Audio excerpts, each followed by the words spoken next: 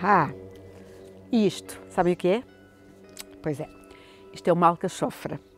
Sinara scolimus. É uma asterácea, quem diria? É uma prima de um girassol. Deu uma alcachofra, aliás, deu duas, que já foram para a panela, que eu comi, mas o que se usa para fins medicinais aqui da alcachofra é a folha. A folha da alcachofra tem um composto que se chama cinarina e a cinarina é um composto extremamente hepatoprotetor, portanto, é uma grande planta do fígado. Mesmo em problemas graves, crónicos do fígado, tipo cirroses, hepatites, esse tipo de coisa, fígado gordo, fígado gordo, isto funciona lindamente, ajuda a, a, a, processar as gorduras, portanto é uma espécie de bengala do fígado e ao mesmo tempo protege-o, revitaliza, reestrutura as células do fígado, é uma grande, grande planta um, ah, para, para, para isso também. É uma boa planta para uh, controlar e reduzir os níveis de colesterol no sangue. Uh, e é uma planta muito fácil de cultivar, dura mais ou menos 4 anos e dá muita descendência, porque ela agora está deste tamanho, já deu filhotes, já deu fruto e há de ter aqui uns filhotes a nascer aqui na base que eu depois separo e vou ter outras plantas. Ela não se importa aqui com a companhia da Consolda, que é esta, que também é outra planta muito medicinal, ok? A, a, a consolda é uma buraginácea, é da família da borragem. Não tem ainda nenhuma em flor, está aqui uma quase, quase a abrir, mas ainda não, faz assim uns cachinhos de flores e um, é, portanto, é uma prima da borragem, como eu já disse, vou aqui arrancar uma para vocês verem. Uma das características das buragináceas é terem, a serem muito peludas, terem assim, a serem ásperas, peludas, etc.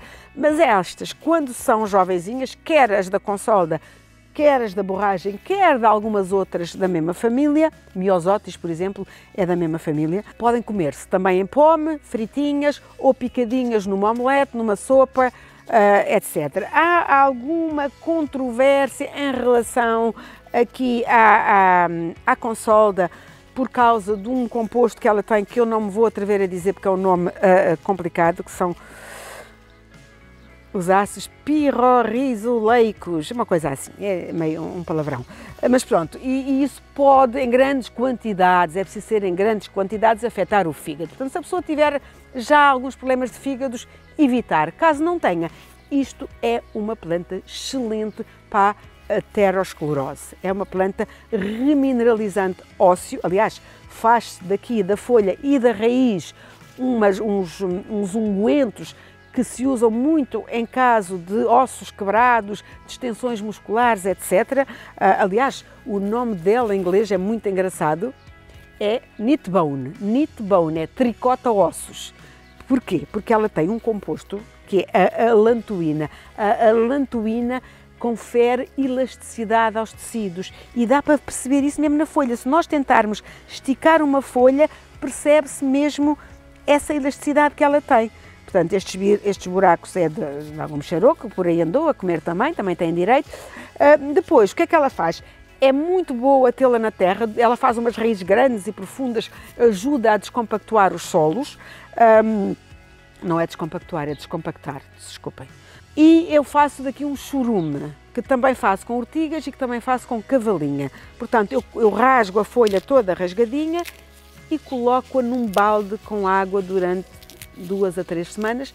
Aquilo fermenta, fica um bocado mal cheiroso, mas depois eu diluo uh, essa planta que já não tem quase matéria orgânica, a folha hum, dispersa-se toda na água e uso aquilo para adubar as plantas. Portanto, ela dá-lhes eh, azoto, é muito fertilizante e, é, e nota-se a diferença rapidamente se nós fertilizarmos as nossas plantas, as nossas alfaces, os tomateiros, a, a, seja o que for, com o adubo natural feito com a, com a consolda. Portanto, ajuda a reequilibrar também o, o, o pH dos solos. Portanto, uma planta muito, muito, muito interessante.